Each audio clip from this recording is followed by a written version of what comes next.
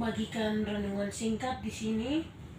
Dari ada satu buku yaitu khotbah di atas bukit.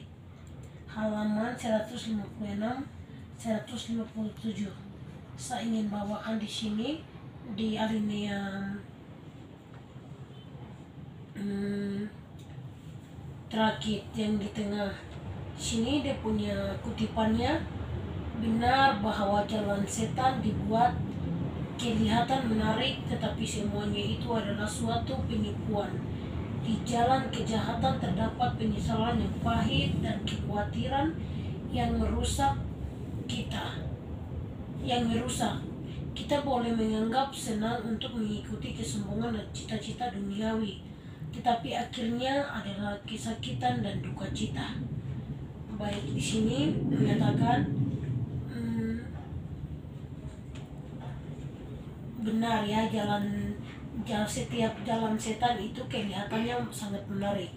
Ketika kita mau melakukan kesenangan kita contohnya kalau di sini tuh kalau uh, saya lihat dengan mata kepala sendiri di saya punya rumah itu uh, kita kan tidak biasa makan makanan haram atau um, kopi rokok segala macam ini tuh tidak pernah kalau tidak ada barang itu juga tidak ada orang yang di situ.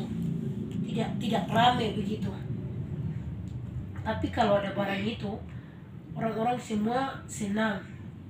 Kelihatannya sangat senang ramai dan seperti begitu menarik begitu bagi orang yang melakukan hmm, atau makan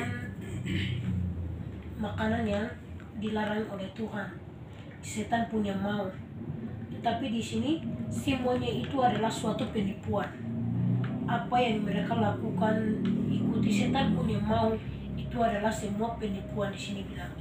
Di jalan kejahatan terdapat penyesalan yang pahit dan kekhawatiran yang merusak.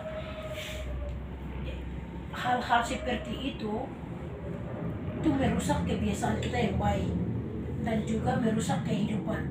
Kita boleh menganggap uh, atau boleh mengikuti si kita bisa pada awalnya kita mengikuti itu kesombongan dan jalan setan. Pada akhirnya di sini di sini bilang adalah kesakitan dan duka cita yang akan rasakan ikuti setan punya mau terus menerus dalam kehidupan. Pada akhirnya akan terjadi dalam kehidupan orang-orang yang mengikuti setan punya mau itu yang akan terjadi adalah kesakitan dan duka cita. Kekecewaan akan terjadi di sana.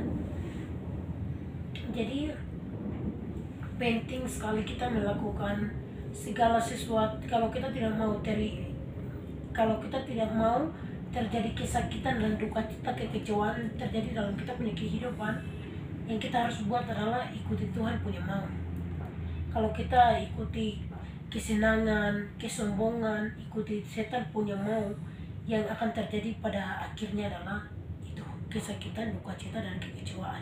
Semua masalah akan terjadi dalam kita punya kehidupan. Ketika kita ikuti setan punya mau. Tapi kalau kita ikuti Tuhan punya mau kekecewaan duka cita kesakitan semua itu tidak akan terjadi dalam kita punya kehidupan. Yang ada itu uh, kita akan sehat-sehat baik-baik tidak akan pernah kecewa ketika kita mengikuti Tuhan. Baik itu saja dengan singkat yang saya bisa bawakan di sore hari ini. Oh ayatnya? Ayatnya ayat pendukung di sini. Um, Yeskel 18 ayat 23 bunyinya apakah aku berkenan kepada kematian orang fasik? Demikianlah firman Tuhan Allah bukankah kepada pertobatannya supaya ia hidup Ayat pendukung yang saya bisa bawakan Iya, terima kasih banyak. Terima Wah.